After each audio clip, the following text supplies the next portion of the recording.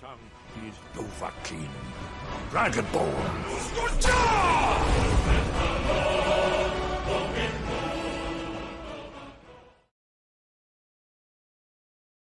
Hallo meine Lieben und schön, dass ihr wieder bei Kilians Pokémon Lexikon dabei seid. In der heutigen Folge stelle ich euch mein Panzeraeron vor. Panzeraeron ist ein Stahl-Flug-Pokémon ohne Entwicklungen und hat somit eine Schwäche gegen Feuer und Elektro, eine Resistenz gegen Normal, Flug, Psycho, Drache, Stahl und Fee, eine Doppelresistenz gegen Pflanze und Käfer sowie eine Immunität gegen Gift- und Bodenattacken. Wirft man einen Blick auf Panzererons Basiswerte, sieht man als erstes diesen wahnsinnigen Verteidigungswert von 140. Und auch wenn der Rest von Panzererons Werten jetzt eher unterdurchschnittlich ist, ist er durch die Tatsache, dass er nur zwei Schwächen und enorm viele Resistenzen hat, perfekt für ein defensives Pokémon geeignet. Da Panzererons KP und Spezialverteidigung nicht allzu viel hergeben, würde ich bei ihm eine einseitig defensive EV-Verteilung bevorzugen. Wir werfen also alles, was wir haben, in KP und Verteidigung. Die letzten vier wahlweise in Angriff oder Init. Ein pfiffiges Wesen maximiert die Verteidigung und senkt den nutzlosen Spezialangriff. Als Fähigkeit wählt man Robustheit, damit man auch eine spezielle Attacke überlebt, sofern die KP voll sind. Im Moveset habe ich hier Bohrschnabel, Stachler, Toxin und Ruheort. Als Item bietet sich ein Beulenhelm an. Bohrschnabel ist Panzererons Standardattacke zum Draufhauen. Wenn man keine Lust hat, die Attacke drauf zu züchten, kann man hier auch beliebig Eisenschädel oder Stahlflügel spielen.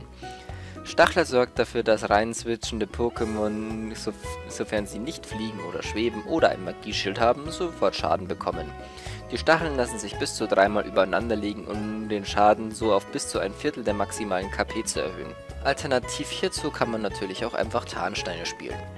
Toxin vergiftet den Gegner schwer und sorgt dafür, dass der Gegner nicht ewig auf dem Feld bleiben kann.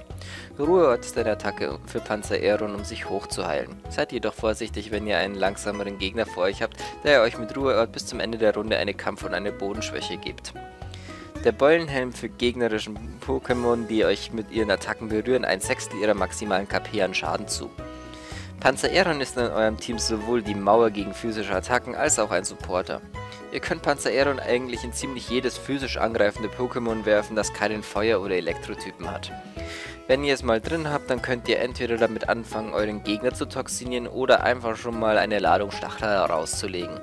Da euer Gegner sowieso meistens erstmal auswechselt, weil es einfach zu viele Pokémon gibt, die gegen ein voll physisch defensives Panzeraeron einfach nichts machen können. Damit vergiftet ihr entweder den Switch-In oder habt schon mal eine Ladung Stacheln auf dem Feld und könnt Panzeraeron anschließend rauswechseln und idealerweise irgendwas reinwerfen, was die Gegner ausbremsen kann. Wiederholt das lustige Wechselspiel einfach so lange, bis die Stachlerladungen alle raus sind und spätestens dann wird sich euer Gegner jeden Switch dreimal überlegen. Wenn ihr bis dahin aber auch schon die Hälfte eures gegnerischen Teams toxiniert habt, dann habt ihr euren Gegner mehr oder weniger sogar schon in einer Zwickmühle. Bleibt euer Gegner mit seinem physischen Klopper einfach drin, so könnt ihr euch, nachdem ihr den Gegner vergiftet habt, einfach in aller Ruhe mit Ruheort gegenheilen, bis euer Gegner umkippt. Legt in der Zwischenzeit dann einfach ein paar Ladungen Stachler raus und wenn das gegnerische Feld vollgesifft ist, könnt ihr am Ende auch noch ein wenig mit Bohrschnabel nachhelfen. Pokémon, die Panzererung gefährlich werden können, sind Mixed Sweeper und vor allem, wenn sie under undercover unterwegs sind. Knackrack ist hierfür ein schönes Beispiel, da es fast ausschließlich wegen Panzeraeron eine Feuerattacke im Set hat. Und äh, weil es gerade wegen Panzeraeron eine hat, ist das nicht selten einfach Flammenwurf oder Feuersturm, vor allem weil beide auch locker ausreichen, um einen Sherax oder einen Tentandel zu one-hitten. Weitere Informationen hierzu finden sich in der Lexikon-Folge von Knackrack.